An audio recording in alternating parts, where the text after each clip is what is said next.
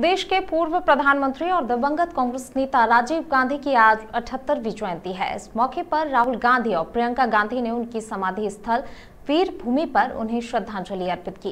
इस दौरान रॉबर्ट वाड्रा के अलावा कांग्रेस नेता के सी वेणुगोपाल, मल्लिकार्जुन खड़गे और अन्य नेता भी मौजूद रहे।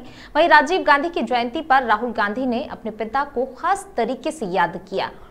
उन्होंने ट्विटर पर एक भावुक वीडियो भी साझा कर लिखा कि, पापा, आप हर पल मेरे साथ, मेरे दिल में हैं। मैं हमेशा प्रयास करूँगा कि देश के लिए जो सपना आपने देखा है, उसे पूरा कर सकूँ।